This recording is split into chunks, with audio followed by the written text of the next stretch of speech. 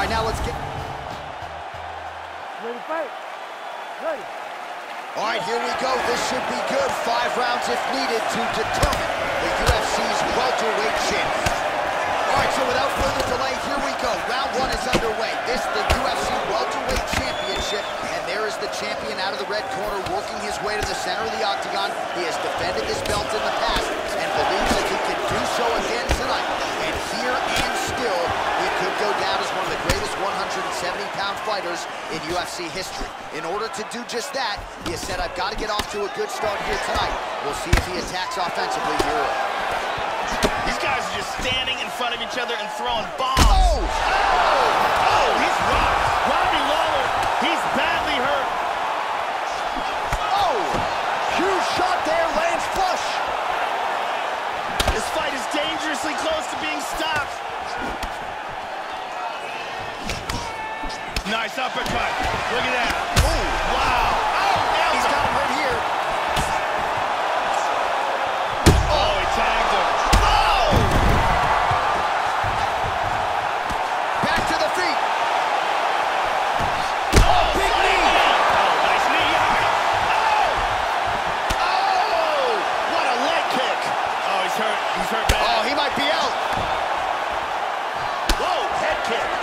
Oh! Oh! Landed a hard kick for the knockout. Oh, that was a no-doubter, Joe. That might the likes of Edson Barboza. A tremendous kick to spell the end of the night for his opponent tonight. He couldn't have caught him much more flush than that, Joe. Full force, beautifully extends the leg right to the target, and that is the end of the fight. You got to think his paycheck could be $50,000 richer after that highlight turned in here tonight. Here we see it again. Boom.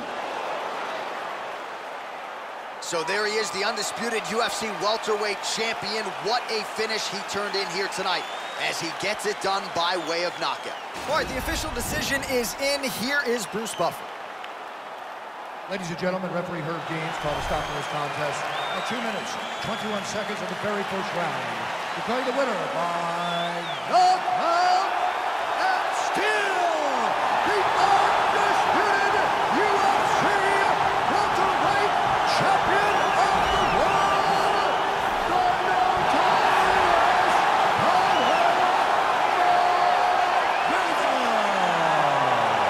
So the celebration is officially on after a successful UFC welterweight title defense here tonight. He will go out the same way he came in as the undisputed UFC welterweight champion. He is your winner by knockout. And what a way to send a statement to the rest of the contenders in this division that it is going to take a monumental effort